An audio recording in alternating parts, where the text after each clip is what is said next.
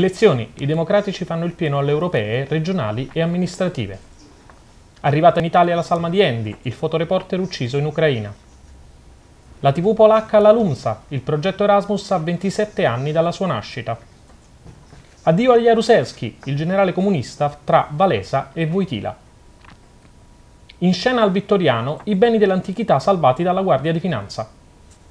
Da Cerci a Baggio, i rigori sbagliati più famosi del calcio. Benvenuti al telegiornale di Lumsa News. Vediamo i risultati delle elezioni europee dello scorso 25 maggio.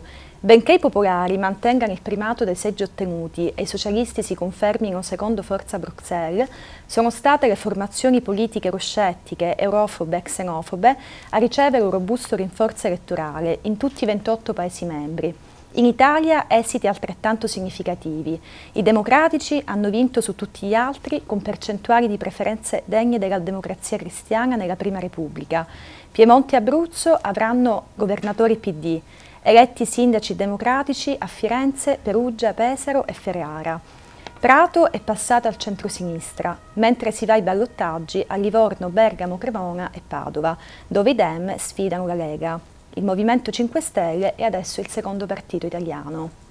È tornata in Italia con un volo di Stato la salma del fotoreporter italiano Andrea Ronchelli. Ad attenderlo il ministro degli esteri Federica Mogherini. Intanto in Ucraina, dopo le cruente battaglie dei giorni scorsi, le truppe governative sono entrate a Donetsk. Il servizio di Raffaele Sardella.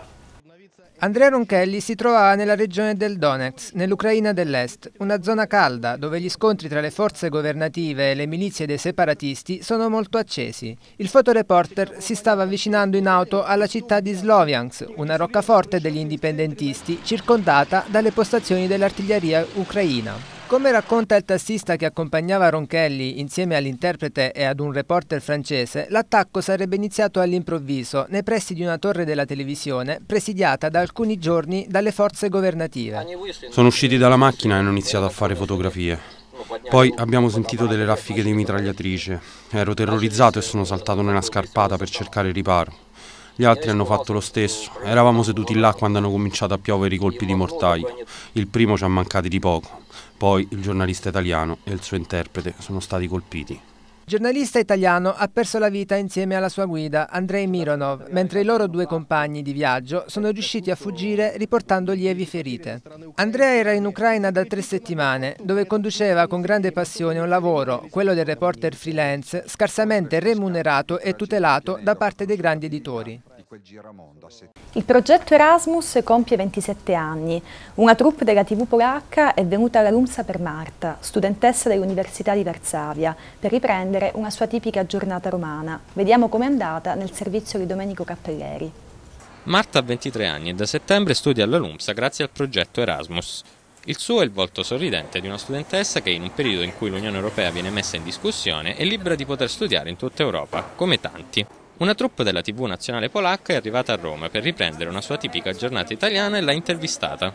Il progetto Erasmus è importante perché consente ai giovani di studiare per un anno all'estero. Gli studenti sono entusiasti di questa opportunità. Io ho raccontato 12 episodi sulle tematiche europee e l'ultima riguarda il progetto Erasmus, la vita degli studenti in tutti i paesi e il budget impiegato per il progetto comunitario. Noi non ci occupiamo solo degli studenti polacchi, ma cerchiamo di raccogliere le storie e le opinioni dei ragazzi in paesi differenti. Il progetto Erasmus è nato nel 1987 e dà ogni anno a migliaia di studenti comunitari la possibilità di studiare nei paesi dell'Unione Europea. Marta frequenta la facoltà di lettere all'Università di Varsavia e ha imparato bene l'italiano. Martedì scorso ha sostenuto l'esame di linguistica generale. Come sarà andata la prova? È andata bene, ho preso 28, quindi abbastanza bene. E devo parlare tante cose, vocalismo tonico, dialetti settentrionali, Lombardi Alberti, però abbastanza bene direi. Sei soddisfatta del voto? Sì, 28 per me va bene, benissimo. È morto a 90 anni il generale Jaruzelski, protagonista della storia della Polonia del secondo Novecento, il servizio di Carlotta Dessì.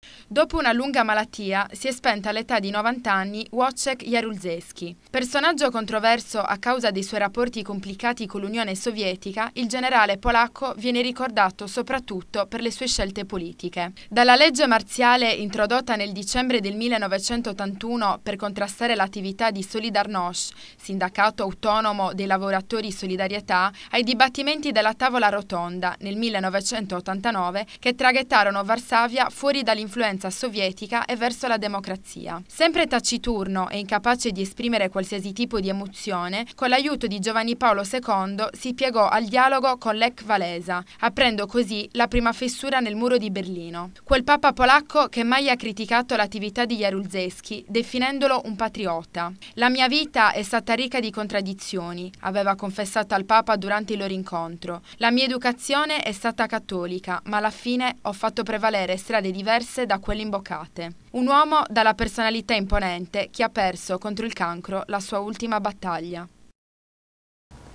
Sulle tracce di Caligola, al Vittoriano una mostra per celebrare l'operato della Guardia di Finanza a tutela del patrimonio artistico e archeologico. Ce ne parla Maria Lucia Panucci ridotta in pezzi dai tombaroli che la trovarono vicino al lago di Nemi.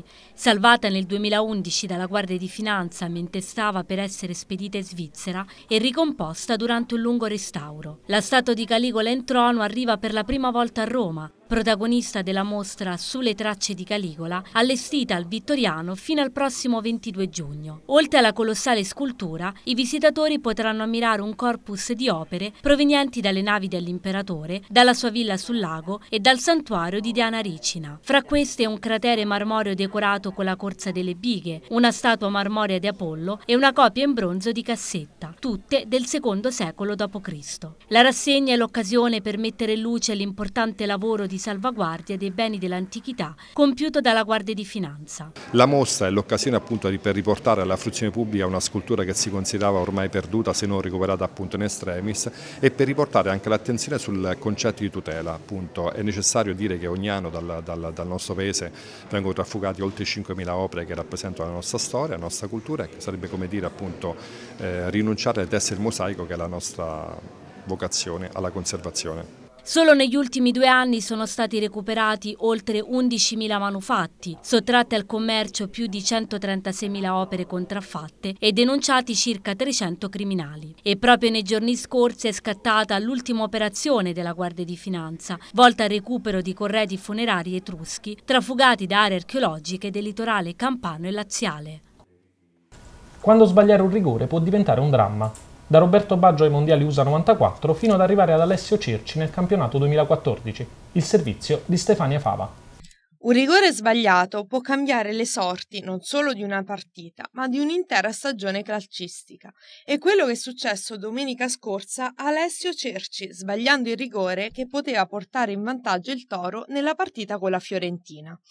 Se il Torino avesse vinto e il rigore fosse andato a buon fine, la squadra granata si sarebbe aggiudicato un posto in Europa League. La partita, però, si è conclusa con un 2-2. Risultato inutile per la Fiorentina, che comunque si sarebbe qualificata per l'Europa League. Disastroso per il Torino, che è rimasto a bocca asciutta. Tanti gli illustri precedenti di rigori mancati. Indimenticabile, ad esempio, la giornata del 17 luglio del 94, in cui si disputò la finale del campionato del mondo, Italia-Brasile. Arrivammo ai rigori e l'ultimo a tirare fu Roberto Baggio. Tutto lo stadio con il fiato sospeso, da quel tiro si sarebbe decisa la squadra vincitrice. Baggio lo tira alto sulla traversa, è l'unico calciato in questo modo da Roberto, come ci ha detto in tante interviste.